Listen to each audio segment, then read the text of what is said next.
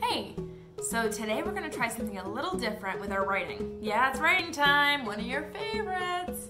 All right, so for writing time today, I'm gonna show you a picture and then I want you to tell me how you feel about that picture, okay? All right, here comes the picture.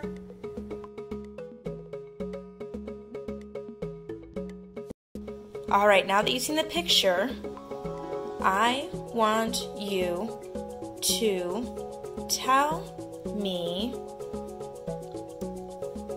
how you feel about the picture, the horses in the picture.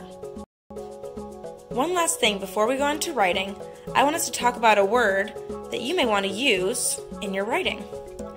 This is a horse that I showed you in the picture, a few horses actually. When we look at the word horse, we look at the first letter, starts with a h sound. And that letter that makes a h sound is H. H. Horse. Horse. You may want to use some of these letters in your writing. We have H, O, R, S, E. You may also want to use the word run. Run. R, U, N. Run. Run. Because the horses are running. All right, good luck on your prompt. You're going to do great. Remember, we're going to da da da da da da. We're going to writing. Have fun. You're going to do awesome.